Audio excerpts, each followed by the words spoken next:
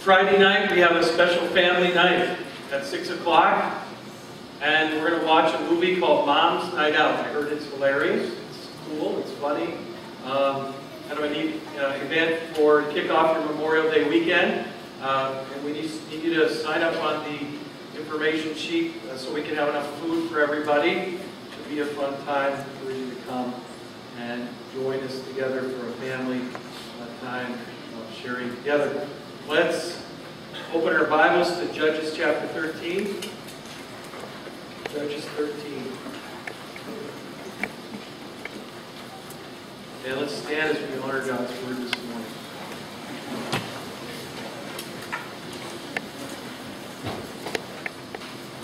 And the people of Israel again did what was evil in the sight of the Lord, so the Lord gave them into the hand of the Philistines for forty years. There was a certain man of Zorah, tribe of the Danites, whose name was Manoah, and his wife was barren and had no children. And the angel of the Lord appeared to the woman and said to her, Behold, you are barren and have not borne children, but you shall conceive and bear a son. Therefore be careful and drink no wine or strong drink, and eat nothing unclean, for behold, you shall conceive and bear a son. For no razor shall come upon his head, for the child shall be a Nazarite to God. From the womb he shall begin to save Israel from the hand of the Philistines. Then the woman came and told her husband, a man of God came to me, and his appearance was like the appearance of the angel of God. Very awesome.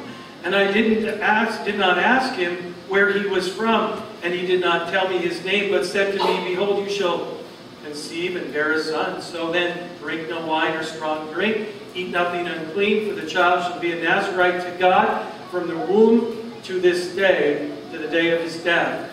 Then Manoah prayed to the Lord and said, O Lord, please let the man of God whom you sent come to us again and teach us what we are to do with this child who will be born. And the Lord listened to the voice of Manoah, the angel of God came again to the woman as she sat in the field, but Manoah was not with her.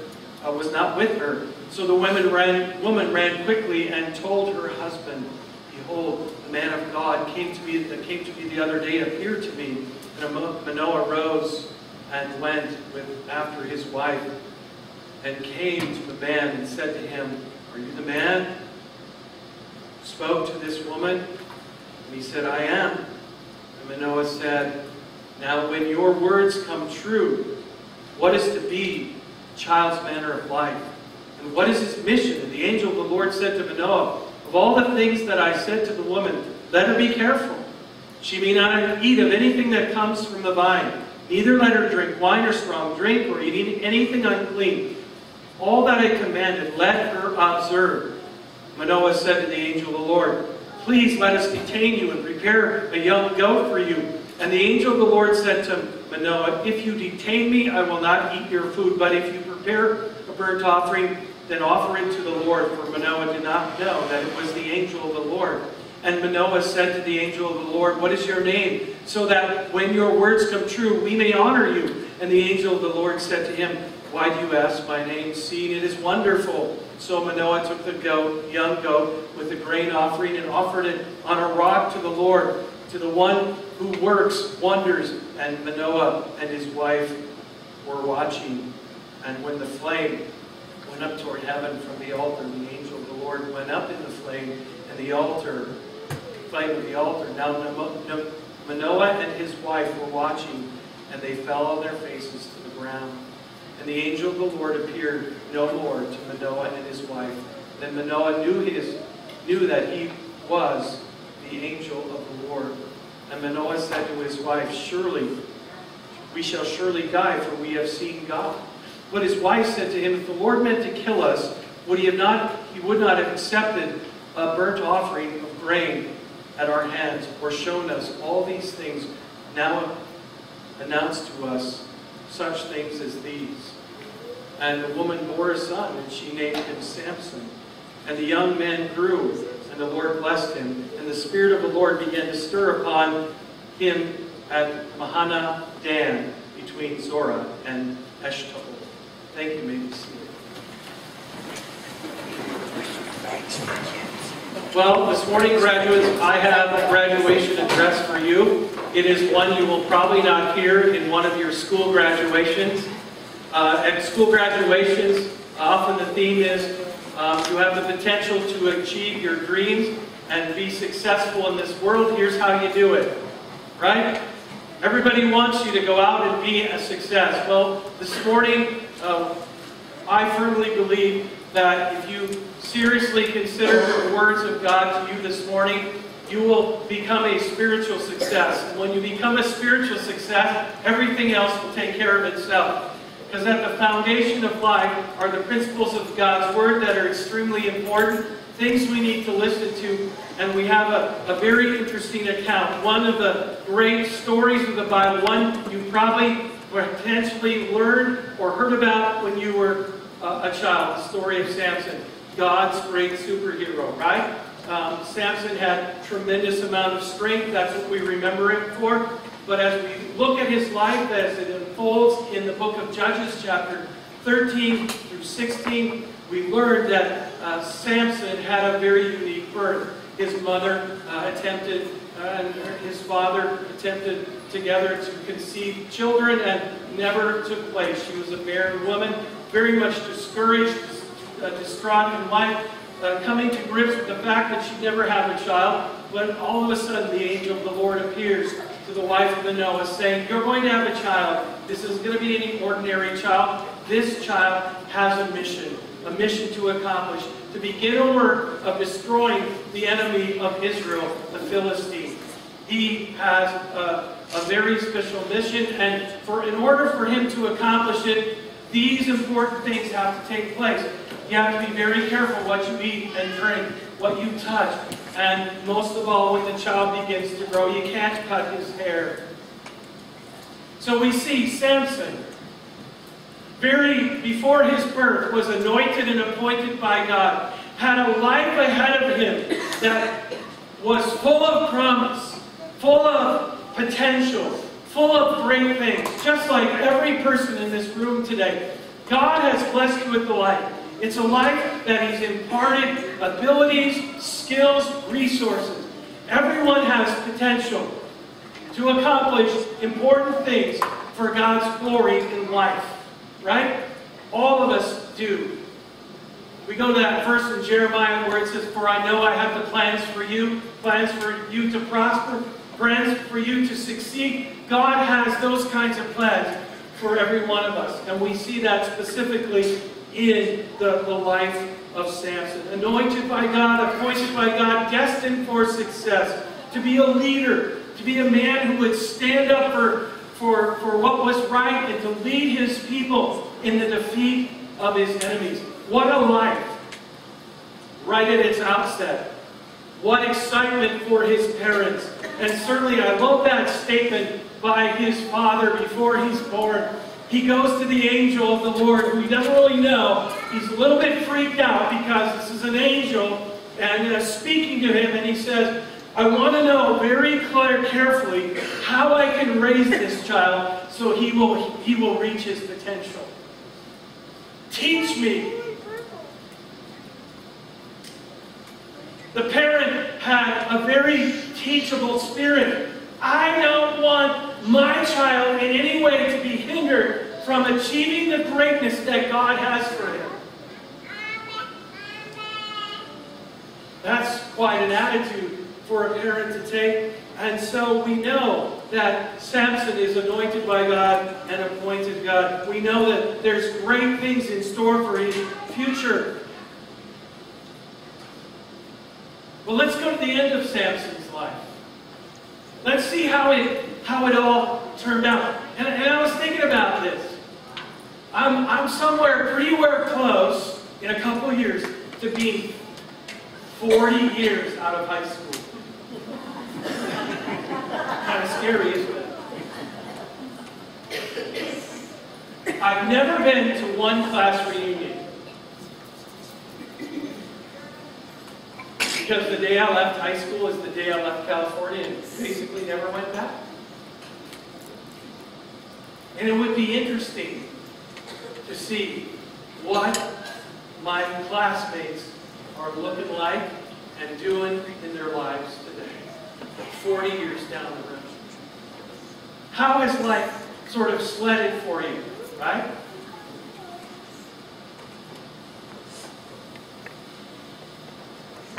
Think about your classmates, graduates. Lots of promise, lots of potential. Where do you think, knowing the way they're headed, where you're going, where do you think you'll be in 40 years? I'm sure you had an assignment like that in class, right? Where do you think you'll be in 10 years, 20 years, 30 years, 40 years?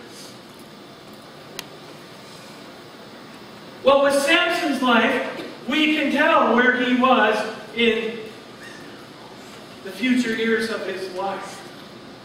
We go to the end of his life and we, we see what happened to this child who, who was anointed by God, who was appointed by God, who had a destiny with success.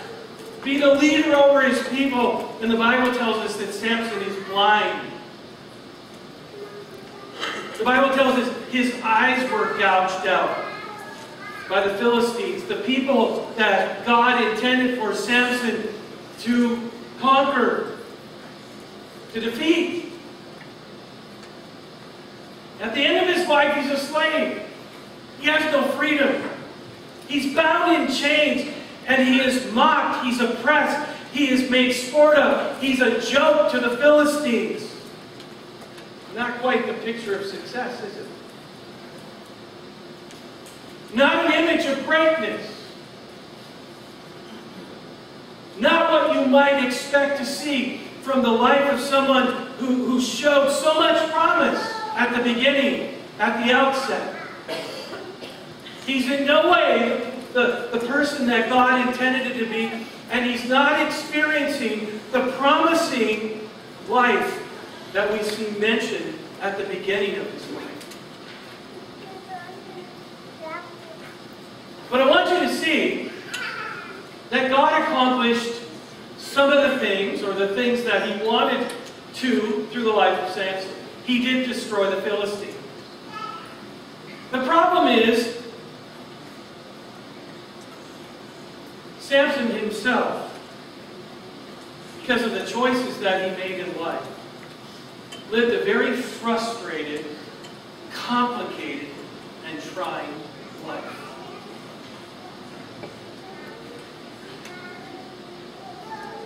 He lived a very frustrated, trying, complicated life. So you got to ask the question, how come?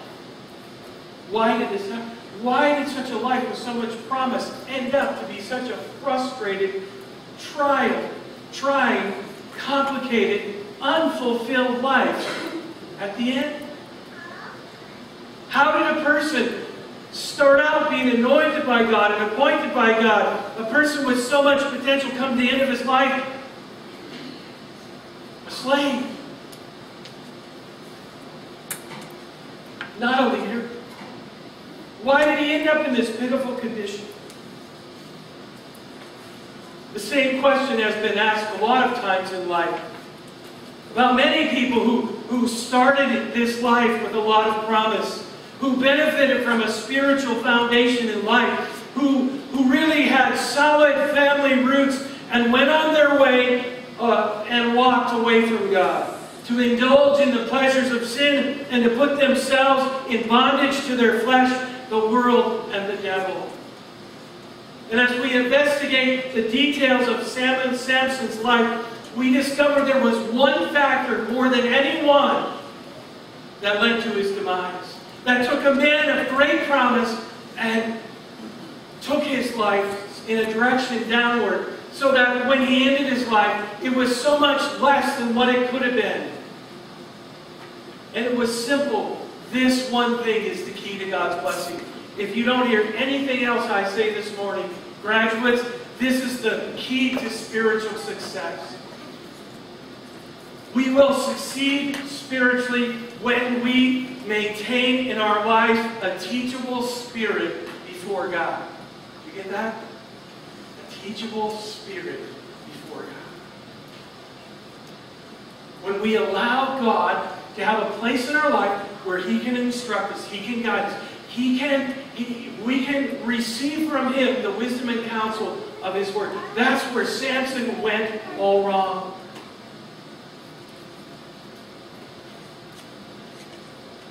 There's four things in Samson's life that demonstrate he wasn't teachable, but we're going to flip those around.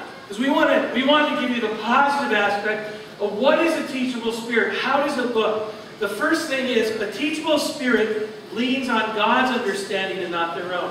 A teachable spirit leans and trusts on God's understanding and not their own. They look to God, they wait on God, they seek out God's direction for their life. They want to be so led by God because they realize God's blessing is so much worth it and joy in life comes from that and so they, they, they crave that. And sadly, this is not where Samson directed his life. And sadly, this is where many lives sort of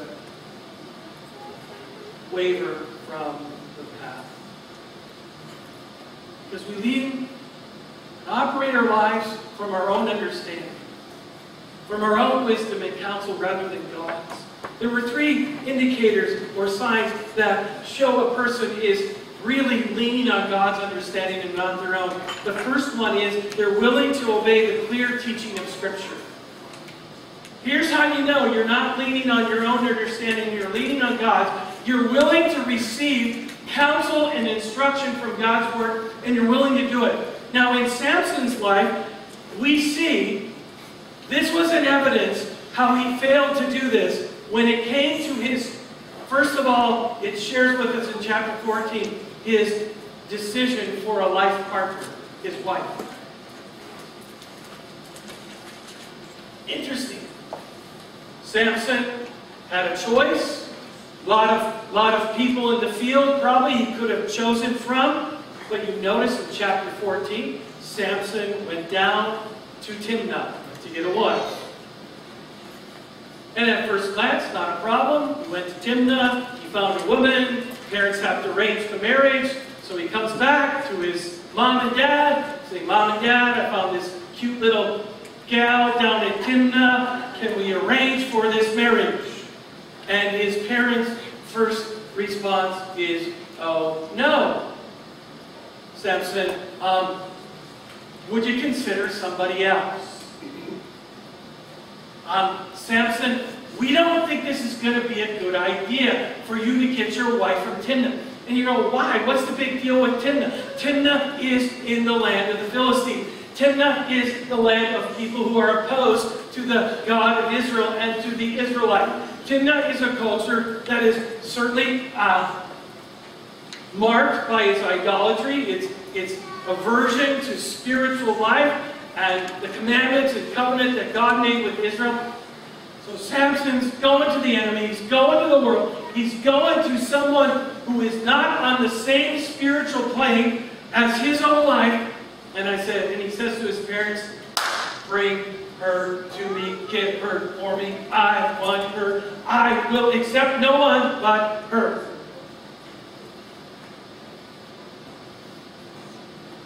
Now Samson knew in Deuteronomy chapter 7, verse 3 of the, the Old Testament law that you shall not intermarry with them, it says.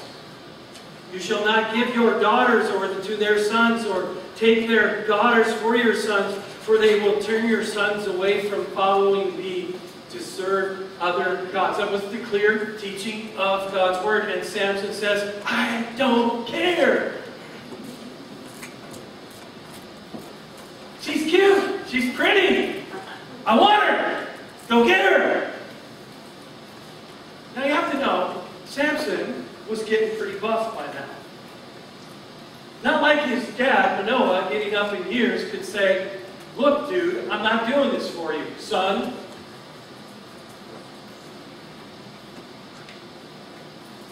So his, his parents can to his request. By doing so, Samson linked himself, yoked himself to an idolatrous woman who would lead him away from God rather than, than help him remain in connection with God. And we find in life a teachable spirit will listen to the Word of God.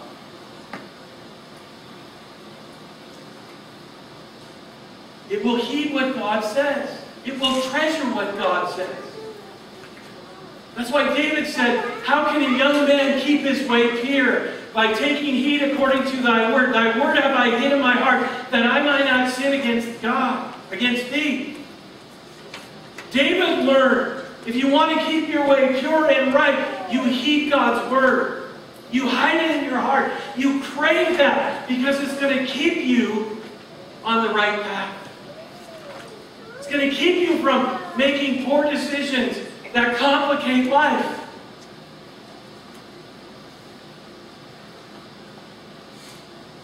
A teachable spirit listens to God. It wants God's direction. Secondly, a teachable spirit that demonstrates it's not leaning on its own understanding. it really is willing to listen to wise counsel. Samson's parents wisely counseled him against this, and he said, I don't want any of this. Young people, seek out wise counsel. People that are walking with God. There's so much to learn. There's so much that you can avoid in heartache, in complication, in struggle, in disappointment in life when you're willing to humble yourself and seek out wise counsel from others. And thirdly, in this passage, we notice Samson really struggled to give credit to God for the things that God was doing in his life. And a teachable spirit that leans on God and his understanding more than their own is willing to acknowledge God for the things that God does. We see that in the life of Samson. So a teachable spirit is willing to seek out God's counsel willing to lean on his own under, his understanding. Trust in the Lord with all your heart. Do not lean in all lean on your own understanding. In all your ways acknowledge him, and he will direct your path. Second thing, a, a teachable spirit learns from their mistakes.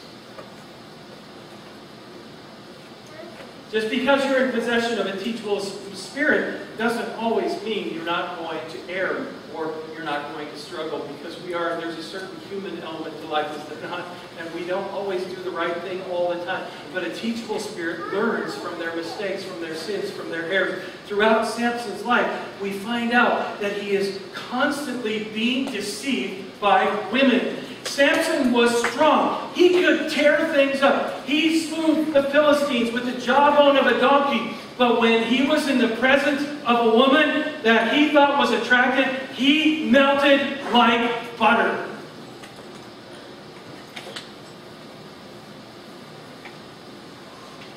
He wasn't all that powerful. He could very much be influenced when he was in the presence of a beautiful woman. First it was his fiancée who later became his wife. Then it was a prostitute who got him in all kinds of trouble. And then finally, the ultimate, the creme de la creme, the most beautiful woman he'd ever laid his eyes on, Delilah. Delilah. Oh. You are the man, you're the hunk, you're the, you're the, yeah. Oh, Delilah.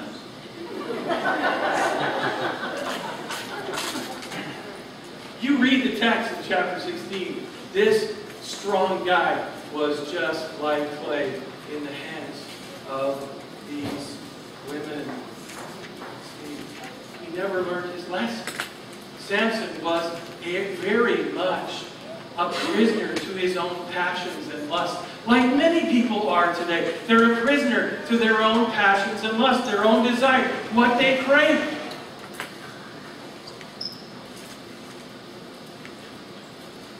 And when you're a prison to your own lusts and desires, the complications of life get a lot greater, a lot more significant. The errors, the mistakes, the sins just multiply themselves throughout life as they did for Samson. Teachable people are discerning people who learn from their mistakes and won't allow their emotions to cloud their judgment Proverbs 10, verse 17 says, He who heeds discipline shows the way of life, but whoever ignores correction leads others astray. Whoever ignores correction leads others astray. The author Portia Nelson wrote his autobiography. Very interesting autobiography about his life. And it's five chapters. And I read the autobiography, and I want to share it with you. Five chapters. They're very short. Chapter one. Here, here's his chapter one. I walk down the street. There's a deep hole in the sidewalk. I fell in. I'm lost. I'm helpless. It takes forever to find my way out. Chapter 2. I walk down the street. There's a deep hole in the sidewalk. I pretend I don't see it. I fall in. I can't believe I'm in the same place again. It's not my fault. It still takes a long time to get out. Chapter 3. I walk down the same street. There's a deep hole in the sidewalk. I see it there. I still fall in. It's a habit. My eyes are open. I know where I am. It's my fault. And I get out. Chapter 4. I walk down the same street. There's a deep hole in the sidewalk. I walk around it. Chapter 5. I walk down a different street. I walk down.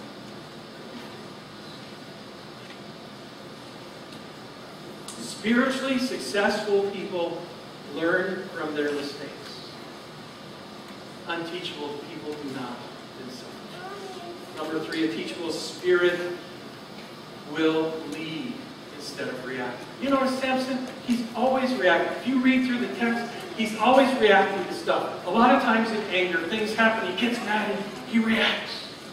He's right. He's not leading. He, he's not leading the charge of the, of the Israelites. He's not gathering a group of people to say, hey guys, I know I'm strong, but we can kick, we can kick out and take care of these nasty Philistines. Let's all rally together and do it. Samson isn't doing that. Samson is always reacting to the situations of life. Rather than setting the pace, rather than leading the way, Samson is reacting. He doesn't listen to God. He isn't directed by God's voice. Because of it, he's ineffective and he's frustrated in his efforts. He's very frustrated in his efforts. And Christians today, God has called us to set the pace, to, to live to a higher standard. Yet many crumble when it's time to lead. In the face of their peers, they crumble when it's time to lead and to stand up for God and to stand up for His Word and to stand up for truth and to stand up for righteousness. Oh no, I'm just going to sort of fit in because it's an easier ride. And then we find out all throughout life, we're just reacting, just reacting instead of leading out of convictions that are deep in our heart on a God we love and a God we trust, knowing that His Word is firm and stands true forever. And finally, we see in this passage that a teachable spirit resists the lure of temptation by not yielding to it. Resist the lure of temptation by not yielding to it. In Samson's experience with the Delilah, it's so interesting how he continually puts himself in a vulnerable position. It's almost like he knows what this woman is after. She wants to know the secret of my strength. How many times does she ask? And at first it's kind of just a game. He's kind of messing with her, he thinks.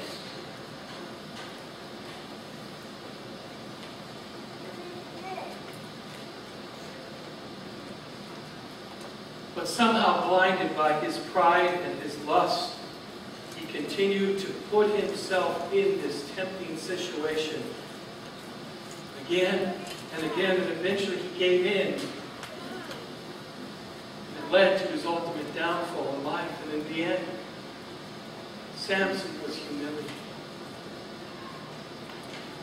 He was destroyed.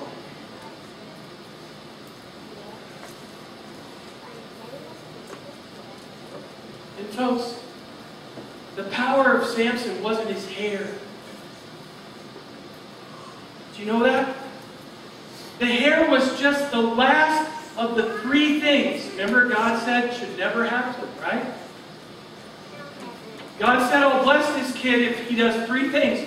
And it's quite interesting. God, in His mercy, let Samson fail at two of those. And he still maintained his strength. He still had potential to turn his life around. He, he went into a vineyard and made contact with grapes, which he wasn't supposed to. He touched, remember, the dead lion that he killed because bees had got it, or there were bees in the in the in the, the belly of this lion and, and it was a dead animal, and he wasn't supposed to touch it. But you know what, Samson, he was hungry, he was famished, he needed strength, and so he reached into the carcass of that, that lion and picked up, and he touched the dead lion. And he didn't even tell his parents that he did it, and he offered the honey to them, and he defiled his parents. And God was still patient, and God was still powerful in his life because he still had his hair. He still was holding to the vow. But when he finally Strike three, let go of the hair. It says, the Lord departed him. And then Samson found out how vulnerable he was when the Lord departed. Notice what it says, with such an agony, Delilah plod, prodded him day after day until he was tired to death. This beautiful woman just nagged him and nagged him and nagged him and nagged him. And because he was so blinded by his lust, by his self-centeredness, he couldn't tell what was going on, that she was on the take, that she was going to get paid for selling him out.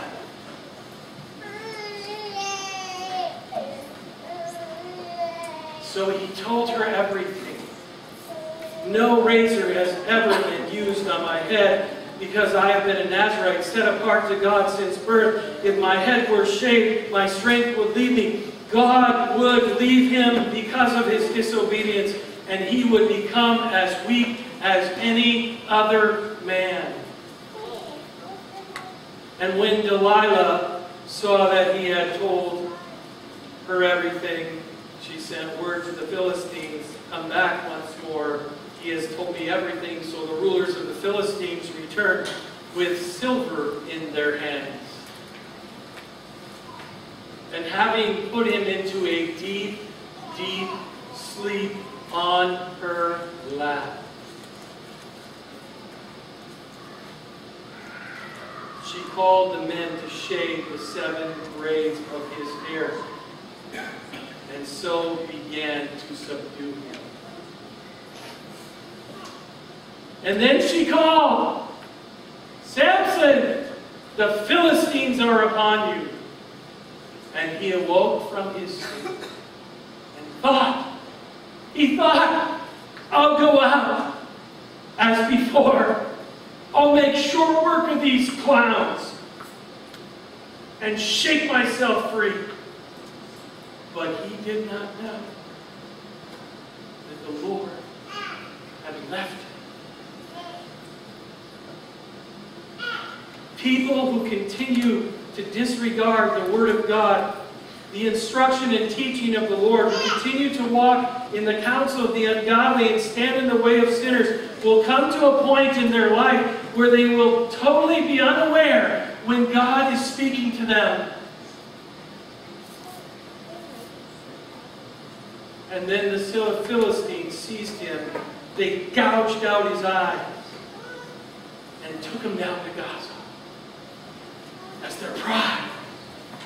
Binding him with bronze shackles, they set him to grinding in a prison. What an end to a life that had so much promise early on. Folks, we need to be ready, for we never want to have the evil one come and deceive us and be swept away and to awaken someday to realize we've lost all the best that God had for us because we were careless and that we lacked a teachable spirit. Three things you have to know about sin. Sin will always take you farther than you intended to go. It will take you farther. You think, I'll go this far with sin, it will take you farther. It will keep you longer than you intended to stay, and it will cost you a lot more than you ever intended to pay. Can't you see Samson today? Before birth, he was anointed and appointed and blessed by God. And the end of life, instead of dying as a leader, as an exalted leader over his people, as a conquering champion, being the man of God, being the moral example to his people, setting the pace for others. Samson's grimacing at a mill. He's blinded and he's bound and he's defeated and he's not experiencing God's best in his life. It's because he lacked a teachable spirit.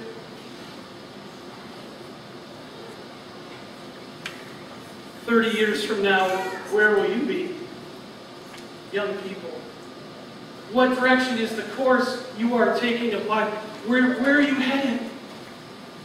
Do you possess a teachable spirit? Are you open to receive from God His counsel and direction?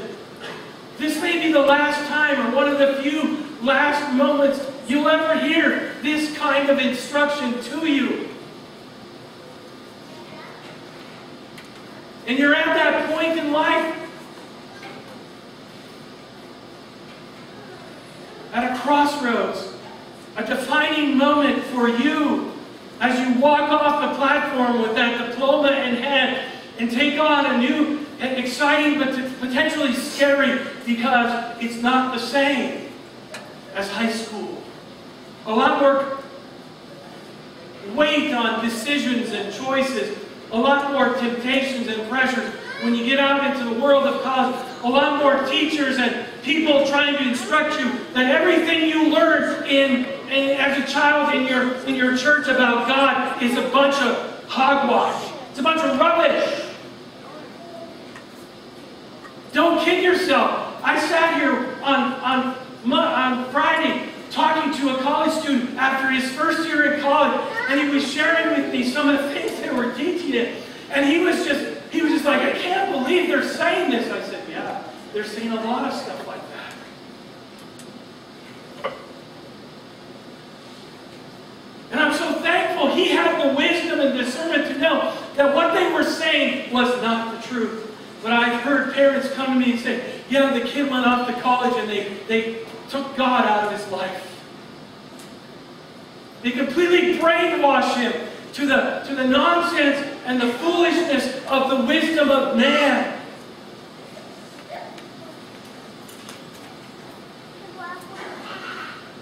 Where are you headed? God has many things, good things to show you in your life. But the question is, will we experience them? Will we experience them? And is it today to say, surrender my life to what God wants me to do? Maybe you're, maybe you're older. Maybe you plowed this tough life, this complicated life, because you were that person, you were that, that proud young buck that said, I was going to kind of do it on my own. I didn't need God's counsel, and I didn't need this, and I, I could just do it on my own. And now you're starting to see life would have been so much better. Do you know there's grace and mercy with the Lord? And today is a new day, always with God. One of the most important decisions we can make, not only in having a teachable spirit, but a teachable spirit embraces Jesus Christ as Savior and Lord. That is the wisest thing that any person could ever do in life, to come to an end and say, I need Jesus. I need Him to be my partner in life, and I'm willing to go with Him today. And as we bow and as we close this service, as you think about the challenges that have been laid before you, will you, will you determine to say, I'm going to go in a, in a direction where I possess a teachable spirit and experience God's blessing. Will you humble yourself and surrender to the Lord today as we just bow our heads and think for a moment and as, as you have a concern or need or something you'd like to pray about or today you want to make a stand to say, God, I'm, i want to have that teachable spirit as I walk forward tomorrow. I want to pray